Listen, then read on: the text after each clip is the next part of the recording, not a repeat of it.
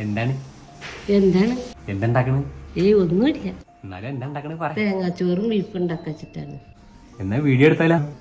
നമുക്കൊന്നൊന്ന് നോക്കി നോക്കാം. അപ്പം നമുക്ക് തുടങ്ങാം. നമ്മളെ വീട്ടിൽ സാധാരണ ചോറുണ്ടാക്കുന്ന പുഴുങ്ങലേരി മൂന്ന് ക്ലാസ് ആറ് പേർക്ക് കഴിക്കാം. ഒരു രണ്ട് പിടി ഉലുവ നമ്മളെ കൈയളവിന്. മീഡിയം വലുപ്പാണി ഒന്നര മുറി തേങ്ങ. വലുതാണെങ്കിൽ ഒന്നും മതി. ഉലുവ വെള്ളത്തിലിട്ടിട്ട് അതിലേക്ക് ഒരു പത്ത് മുപ്പത് ചെറിയ ഉള്ളി ഇട്ടേക്കുക. ഒരു കാ മണിക്കൂർ ഇരുന്നോട്ടെ. അരി കഴുകി വൃത്തിയാക്കിയിട്ട് ഒരു കുടുക്കേക്കും തട്ടുക. ഒന്ന് നല്ല വൃത്തിയാക്കി അരിയൊക്കെ എടുത്താൽ വേസ്റ്റ് ആക്കണ്ട. അങ്ങനെ വയ്ക്കുക പിന്നെ നേരത്തെ കുതിർത്താട്ട ചെറിയ ഉള്ളി ഉലുവയും കൂടിയിട്ട് അങ്ങോട്ട് തട്ടുക. പിന്നെ നമ്മുടെ ഒന്നര മുറി തേങ്ങ വലുതാണെങ്കിൽ ഒരു തേങ്ങ ചിരകിയത് അതും ഇങ്ങനെ തട്ടുക. വേസ്റ്റ് ആക്കണ്ട. അക്ക തട്ടിക്കൂടി.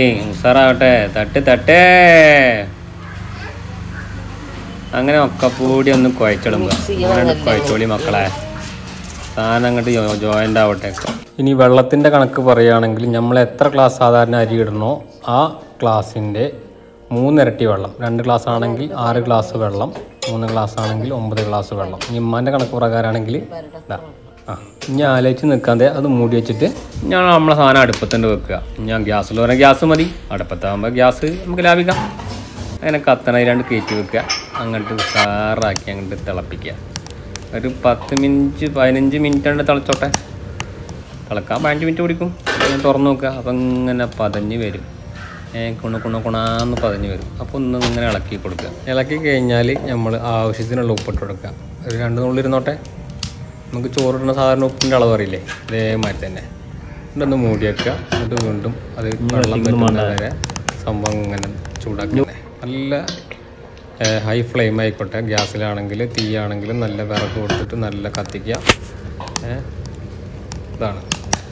ഇടക്കൊക്കെ ഒന്ന് തുറന്നു നോക്കുക. എന്താ പാട് നോക്കുക. വെള്ളം വറ്റിനനുസരിച്ചിട്ട് വീണ്ടും തിളപ്പിക്കുക. അങ്ങനെ വെള്ളം വറ്റിച്ച് വറ്റിച്ച് വറ്റിച്ചെടുക്കുക സാധാരണ ചോറ് ഉപയോഗിക്കണം അതേ മെത്തഡാണ് ഒരു റിസ്ക്കും ഇല്ല. സിമ്പിളാണ് നല്ല ടേസ്റ്റി ഫുഡാണ് ഏത് ഫുഡ് നമുക്ക് സിമ്പിളായിട്ട് ഉണ്ടാക്കാം? നമ്മളൊന്ന് പരീക്ഷിക്കാത്ത കാരണമാണ്. പരീക്ഷിച്ച് കഴിഞ്ഞാൽ വളരെ ഈസിയാണ് എല്ലാ ഫുഡും നമ്മുടെ ചോറിന്റെ വെള്ളമൊക്കെ വെട്ടിക്കണ് ഒന്നിങ്ങനെ സൈഡ് കൂടെ ഒക്കെ ഒന്ന് ഒതുക്കി ഒതുക്കി ഒതുക്കി എടുത്ത് ഒന്ന് സെറ്റാക്കി എടുക്കുക. ഒന്ന് അടിയിൽ നിന്ന് മേലേക്ക് മറിക്കുക. അങ്ങനെ ഒന്ന് കീഴനെ മറിക്കുക. കാരണം അടി ഇങ്ങനെ കരിയാതിരിക്കാൻ വേണ്ടിയിട്ട്. നോപ്പ നോക്കിയിട്ട് സെറിന്റെ കൂടെ കറണ്ട് ആയിട്ട് ഒന്ന് അമർത്തി നോക്കി. അടിയിൽ വെള്ളമൊന്നും പിടിച്ചിട്ടുണ്ടാവില്ല എന്നിട്ട് ഒന്ന് മൂടി വെച്ചിട്ട് നമ്മൾ തീ അങ്ങോട്ട് കുറച്ച് വെക്കുക. വിറകലുണ്ടെങ്കിൽ വിറക് മാറ്റി വയ്ക്കുക ഗ്യാസ് ആണെങ്കിൽ ലോ ഫ്ലെയിമിലാക്കുക തീ കൊടുക്കണ്ട. ആ കണലിൽ ഒന്നും കൂടി ഒരു ഒരഞ്ച് പത്ത് മിനിറ്റ് അങ്ങനെ ഇരുന്നോട്ടെ. ആ പത്ത് മിനിറ്റ് ഗ്യാപ്പിൽ പോകണമെങ്കിൽ കുറച്ച് നേരം വെറുതെ ഇരുന്നോളി. അത് രസമല്ലേ? ആർക്ക് വെറുതെ ഇരിക്കാൻ ഇഷ്ടമില്ലാത്ത വെറുതെ ഇരിക്കില്ല കഴിഞ്ഞാൽ അന്ന് തുറന്ന് നോക്കുക. ഒരു തന്നെ ഇങ്ങനെ പൊന്തു. ഒന്ന് മണത്ത് നോക്കുക. എന്നിട്ട് അടുപ്പിൽ നിന്ന് മാറ്റി വെക്കുക. എന്നിട്ട് രണ്ട് മൂന്ന് പപ്പടം ഇങ്ങനെ പൊരിക്കുക. ഏ നല്ല പപ്പടം ആയിക്കോട്ടെ പൊള്ളക്കണ പപ്പടം. എന്നിട്ട് പാത്രത്തിൽ കിട്ടായിന്ന് പറഞ്ഞ എടുത്തിട്ട് നമ്മൾ പുറത്ത് പോയി നിന്നിട്ട്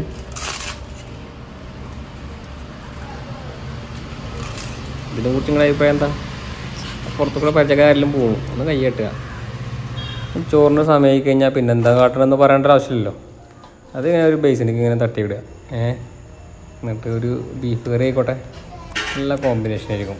ബീഫ് വിത്ത് എന്താണ്? തേങ്ങാച്ചോറ് ഓ. ഇങ്ങനെ പാത്രത്തിൽ ഇങ്ങനെ വിളമ്പുക? ബീഫ് കറി രണ്ട് വയ്ക്കുക രണ്ട് മൂന്ന് കരണ്ടി ആയിക്കോട്ടെ. കുറച്ച് ബീഫ് ഇന്നോട്ടെ പിന്നെ നമ്മുടെ രണ്ട് പപ്പടം. ഹാ. എന്നിട്ടിങ്ങനെ കുഴച്ചിളമ്പ ഒരു പീസ് ബീഫ് എന്ന് ഇങ്ങനെ എടുക്കുക. ചൂടൊക്കെ ഉണ്ടാവും. അതൊക്കെ അല്ലേ? ഒരു ഒരു ഒരു ഇത് എന്താണ്? ഒരു പീസ് ബീഫ് എടുത്തിട്ട് അതും കുഴക്കുക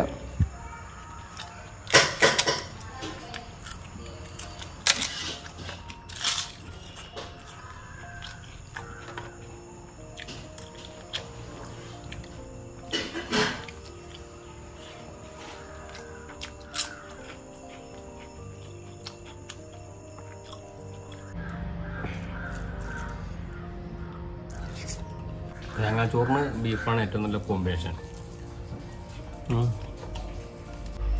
ബീഫ് വളരെ സിമ്പിളായിട്ട് ഉണ്ടാക്കാൻ പറ്റുന്ന സംഭവമാണ് ബീഫ് കറി.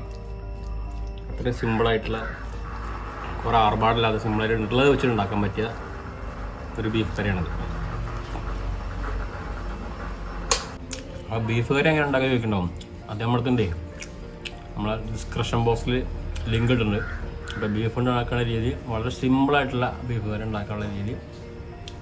നമ്മൾ താഴെ ലിങ്കിലിട്ടുണ്ട്. അതൊന്ന് കണ്ടു നോക്കി. വളരെ സിമ്പിൾ തേങ്ങാച്ചോറും ആ ബീഫ് കറി പിന്നെ കുഴച്ചും കഴിക്കുമ്പോൾ ടേസ്റ്റാണ് തേങ്ങാച്ചോറും വളരെ സിമ്പിളായിട്ട് ഉണ്ടാക്കുക. അരി തേങ്ങ പിന്നെ ഉലുവ പിന്നെന്താ ചെറിയ ഉള്ളി. റോളും പിന്നെ ബീഫ് കറി ഒരു പപ്പടം രണ്ട് പപ്പടം. നല്ല രസമാണ് ഉച്ചക്കത്തെ ഊണ് സൂപ്പറാവും. പിന്നെ നമ്മുടെ അമ്മമാർ ഉണ്ടാക്കി തന്നെ ഫുഡ് പ്രത്യേക ടേസ്റ്റാണ് നമ്മൾ പുറത്ത് എവിടെയെങ്കിലും ജോലി ചെയ്ത് പണിയെടുത്ത് നാട്ടിലേക്ക് വരുമ്പോൾ ഇവരെ കൈ കൊണ്ട് ഉണ്ടാക്കുന്ന മീൻകറി ആണെങ്കിലും എന്താണെങ്കിലും അത് വേറെ ടേസ്റ്റ് അല്ലേ? പ്രവാസികൾ കൂട്ടുകാരന്മാരെ നമ്മളെപ്പോഴും പറയും നാട്ടിൽ വരുമ്പോൾ മത്തിക്കറി കൂട്ടി തിന്നുമ്പോൾ രസമാണ് എല്ലാവരും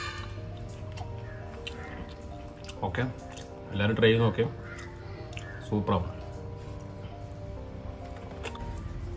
അപ്പോൾ അടുത്ത വീഡിയോയിൽ കാണാം. വീഡിയോ കണ്ട് ഇഷ്ടപ്പെട്ട എല്ലാവരും ലൈക്ക് ചെയ്യാം. ഇഷ്ടപ്പെട്ടില്ലെങ്കിലോ അപ്പോൾ ലൈക്ക് ചെയ്തോ. അപ്പോൾ ഒരു രസമില്ലടാ അടുത്ത വീഡിയോ ആയിട്ട് വരാം. അപ്പോൾ എല്ലാവർക്കും വീഡിയോ കണ്ട് ഇഷ്ടപ്പെട്ട സപ്പോർട്ട് ചെയ്യാം. ലൈക്ക് ചെയ്യുക സബ്സ്ക്രൈബ് ചെയ്യാം. അപ്പോൾ ഓക്കെ ബൈ ബാക്കില്ല എന്താണ്? എന്താ ഉണ്ടാക്കുന്നത്